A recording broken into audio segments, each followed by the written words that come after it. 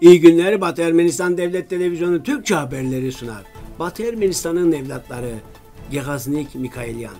Batı Ermenistan Ermenileri sorunu üzerine. Arayı Karutünyan. Bakü sadece entegrasyonu tartışmak istiyor, başka konuları konuşmuyor. Artsakh insan hakları savunucusu.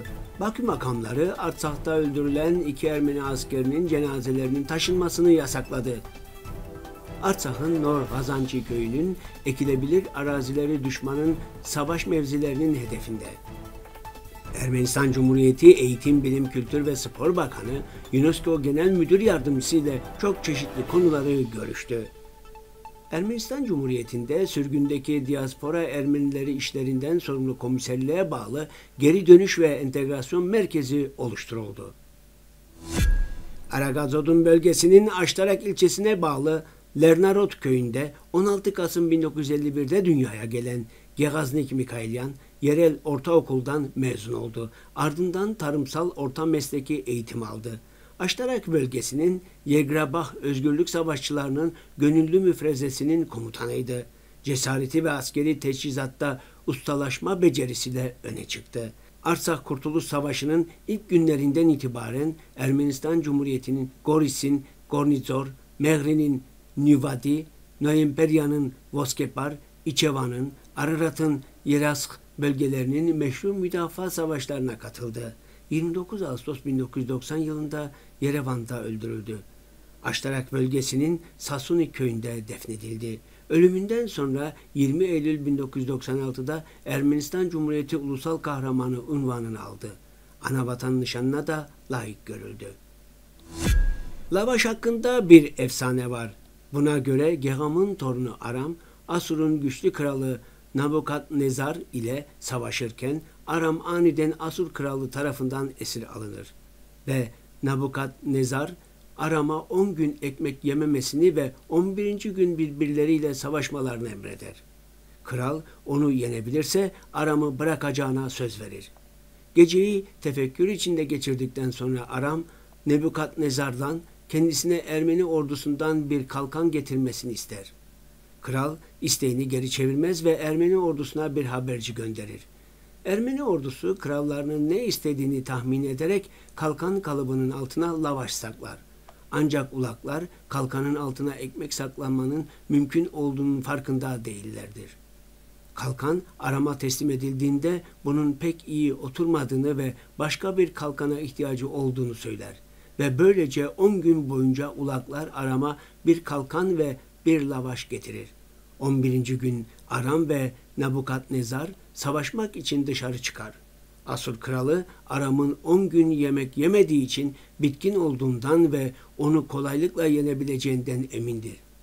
Ancak Aram Nabukadnezar'ı yenip memleketine dönmeyi başarır.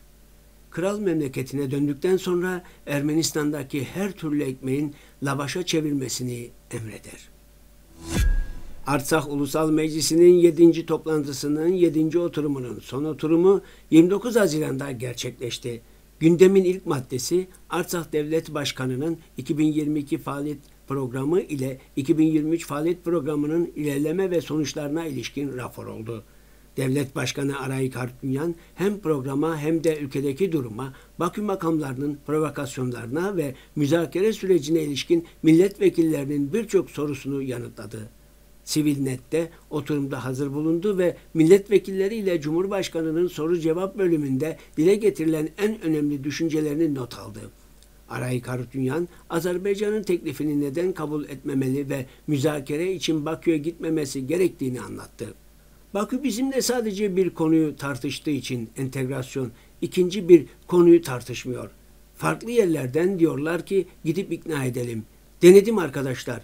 İki yıl uğraştım. Kötü bir arabulucu olduğumu düşünen varsa o zaman son aşamadan müzakereye gitmedim, ayrılmadım. Bu müzakereler sonuç vermiyor çünkü sonunda diyorlar ki hedefimiz bu. Yalnız bize değil, Birleşmiş Milletler'de de o gündemi söylüyorlar. Dün ve bugün Blinken, Mirzoyan Bayramov toplantısında da söylüyorlar. Azerbaycan bize birinci noktanın savunma ordusunu dağıtmak olduğunu söylüyor. Savunma ordusunu dağıtmamız ve sonra toplantıya gitmemiz gerektiğini söylüyorlar. Sırasıyla anlatayım. orduyu ardından devlet yönetim sistemini dağıttığınızı açıklayacaksınız. Belediye seçimleri için bir mekanizma oluşturulduktan sonra doğalgaz ve elektrik tedarikini sağlayacak, Berzor yolundan giriş çıkışa izin verecekler ve nasıl izin verecekleri malum. Azerbaycan vatandaşı olarak. Müzakerelere karşı değilim, toplantılara karşı değilim. En çok ben dahil oldum ve en çok toplantıyı ben yaptım. Sorunlar yaşayacağımızın farkına varmalıyız. Bunların hepsi aşılabilir arkadaşlar. Yapacak iki şeyimiz var. Öz savunma ve dayanıklılığı artırmak. O anlamda biz neler yaptık, neler yapmalıyız, istek olursa başka sefer görüşürüz.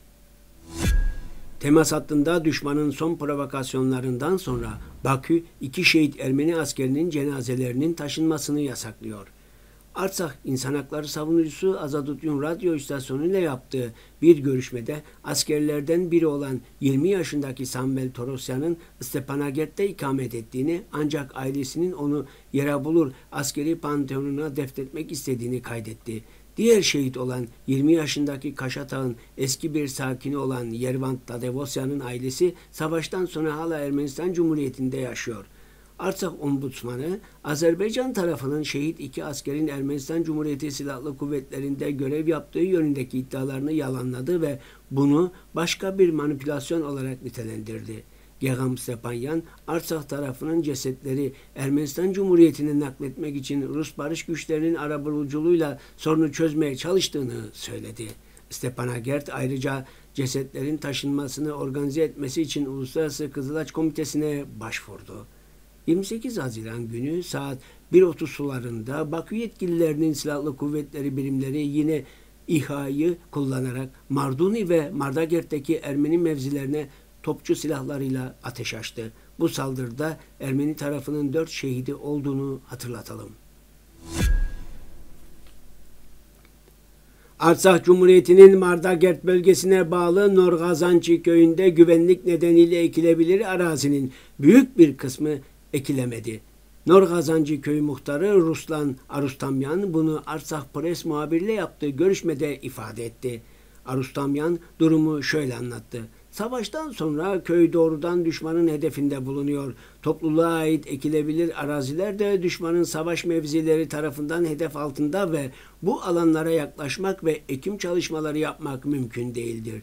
Çok az miktarda arpa, yulaf ve patates ekmeği başardık ve bütün sorun stokun kışın köylülere yetmeyeceği gerçeğinde yatmaktadır. Muhtar Arustamyan, abluka nedeniyle köyde mazot, un, yağ ve şeker sorununun ortaya çıktığını bildirdi. Ancak acil ihtiyaç durumunda veya acilen hastaların Stepanakert'teki tıbbi tesislere götürülmesi durumunda ilçe yönetimi gerekli mazotu sağlar. Savaştan sonra hayvan sayısı önemli ölçüde azaldı.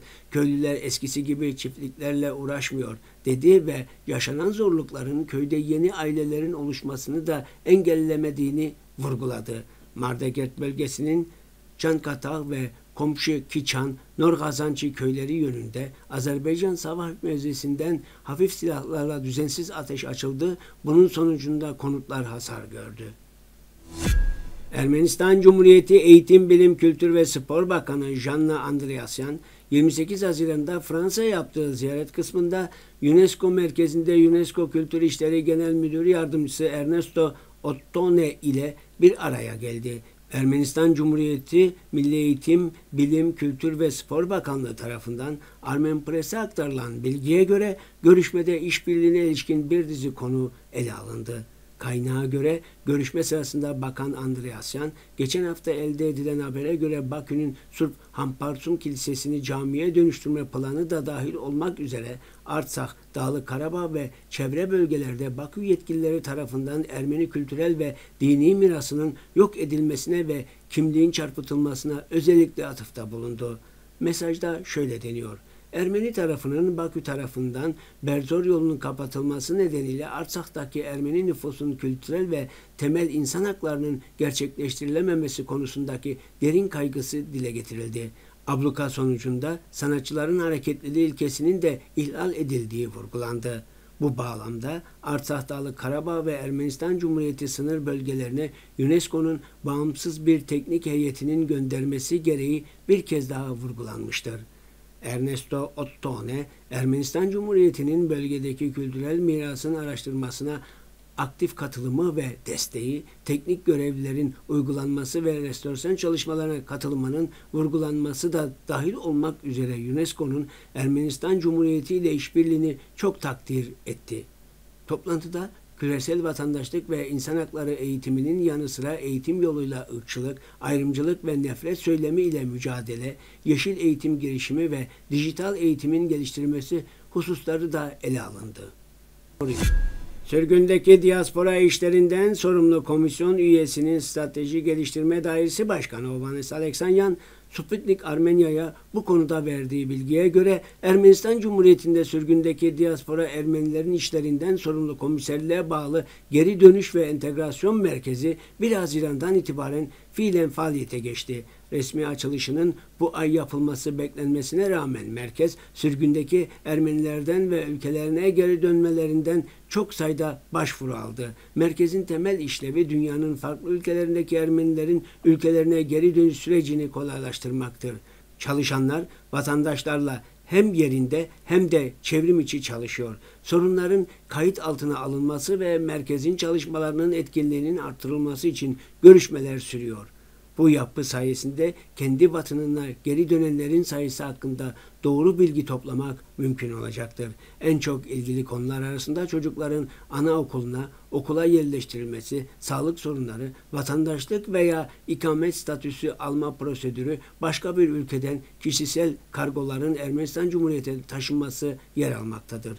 Ek konsültasyon gerekirse merkez devlet organlarının yardımına başvurabilecek. Uzman tüm geri dönüş sürecinin üç aşamaya ayrıldığını kaydetti. Yurda dönüş öncesi dönem, yurda dönüş ve entegrasyon. Bu 6 aydan 2 yıla kadar sürüyor. Bugün için bu kadarını öngördük. Şimdi size Vladimir Sımpatyan, Levon Hayrabetyan ve Edward Babyan tarafından seslendirilen dünyaca tanınmış Ermeni aşık Sayat Nova'nın Dunel Kılhen Imastunis adlı eseri sunuyoruz.